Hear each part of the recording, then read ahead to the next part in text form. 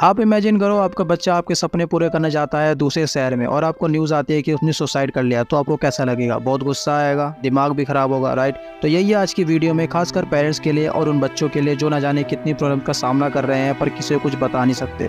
क्योंकि आजकल की सोसाइटी में मज़ाक ना बन जाए, कितना वीक बच्चा है आपका। बच्चे आखिर सुसाइड करते क्यों हैं? आखिर ऐसा हो क्या रहा है बच्चों के साथ जो बच्चे सुसाइड कर रहे हैं? अगर आप जानना चाहते हो कि स्टूडेंट्स के ऊपर कितना प्रेशर है स्ट्रेस है टेंशन है तो ये टीवी शो आपको ज़रूर देखनी चाहिए। पहला है Kota factory. Kota factory based है आईआईटी की कोचिंग के ऊपर। कोटा शहर में बच्चे आते हैं, अपना घर, परिवार सब छोड़कर अकेले रहते हैं इतनी कच्ची उम्र में। अपने पेरेंट्स और अपना सपना पूरा करने बट कोटा शहर हर साल इतने बच्चे आते हैं, इतना कंपटीशन है, इतनी टेंशन है, इतना स्ट्रेस है कि बच्चा पहले ही स्ट्रेस में आ जाता है और यही स्ट्रेस फेस करता है वैब नाम का बच्चा कोटा फैक्ट्री शो में।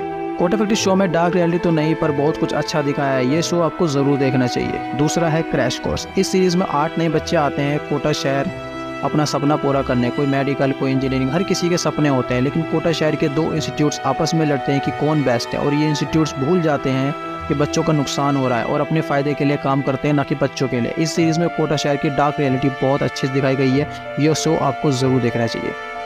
तीसरा है फ्लेम्स रजत जो अपने पापा के कहने पर आईटी करने वाला होता है, लेकिन फिर उसकी मुलाकात होती है इसी तरह से और उसको प्यार हो जाता है। और फिर रजत अपने पापा के ड्रीम को पूरा करने के चक्कर में अपने प्यार को कुर्बान कर देता है और इसी तरह से अलग हो जाता है और कैसे कैसे प्रॉब्लम्स को फेस करता है, ये देखना है आपको इस सीरीज़ में।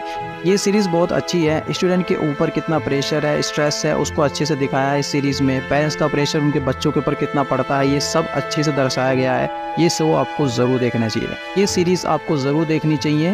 ये सीरीज़ अगर आप देखोगे तो आपको बहुत अच्छा लगेगा। Thank you for watching